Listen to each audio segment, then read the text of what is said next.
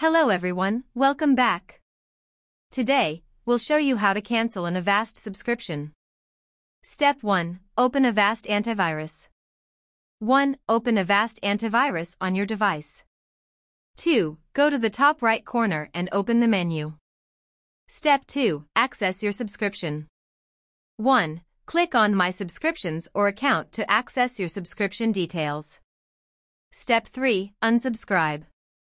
1. Scroll down and click on Unsubscribe or Cancel Subscription.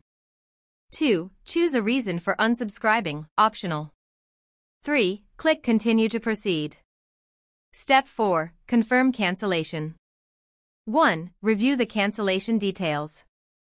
2. Click Unsubscribe Me to confirm cancellation.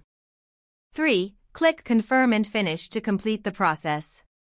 That's it. You have successfully cancelled your Avast subscription. Refresh the page to see the updated status. Thanks for watching. If you found this video helpful, please subscribe for more tutorials.